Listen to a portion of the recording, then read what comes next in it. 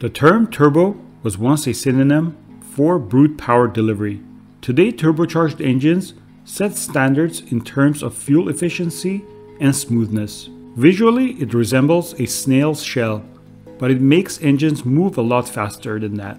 Since the early 70s, Porsche has put its trust in turbochargers as a means of increasing performance. To begin with, Porsche had only planned for 500 units of the 930 series, as it was known internally for it was the number of units required for motorsport homologation. The pleasingly high demand for the wide-bodied bundle of muscles with the mighty rear wing caused a quick rethink. In 1977, the first enhancement was made to the 911 Turbo. Its displacement was increased from 3.0 liter to 3.3 liters, and its output rose as much as 300 horsepower. Apart from some smaller modifications, the 930 remained in the product range almost unchanged until 1988. It laid the groundwork for a turbo success story that's currently starting its latest chapter with the 992 generation of the 911. Turbo development has made great strides since 1974, largely thanks to Porsche. Over the decades, Zuffenhausen has come to see the term turbo as synonymous with leading technology. The top model of every 911 generation has the turbo name in it. The technology has established itself as particularly efficient and low emission while also being very cultivated. Perhaps the most impressive achievement is that the turbo engines have reached the level of much larger, naturally aspirated engines, even in terms of their responsiveness. Porsche has succeeded in taming the legendary explosive power delivery. Porsche 911 Turbo aka 930. Even the turbocharger of 1974 ancestor had an exhaust gas overpressure valve, a wastegate, something that was previously only familiar from racing cars. With a maximum boost pressure of 0.8 bar, it developed 260 horsepower, but the thrust kick in somewhat abrupt at 3500 RPM.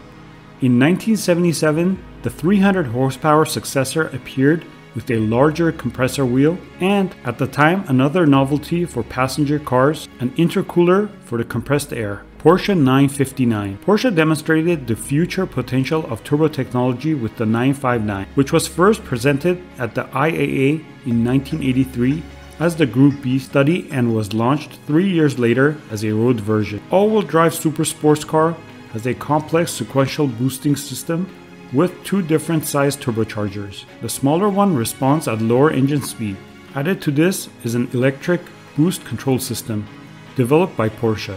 The 4 valve engine also sports water cooled cylinder heads. Porsche 911 Turbo 3.3 aka 964.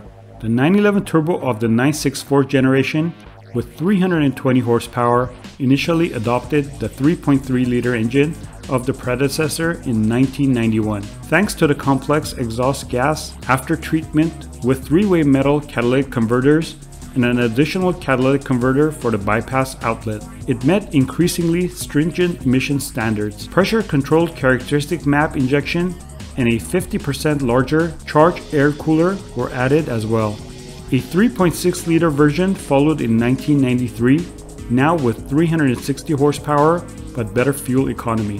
Porsche 911 Turbo aka 993 in 1995, Porsche presented the 911 Turbo of the last air-cooled generation, the 993. It was the first time Porsche relied on the power of two turbochargers in a series production model. Unlike the 959, they were not sequential, but worked in parallel. They each supplied one cylinder bank of the 3.6 liter six cylinder engine with charge air. The wastegate integrated in the turbo was also new. The 911 Turbo was the lowest emission vehicle of its time, and from 1997, the same applied to the Turbo S.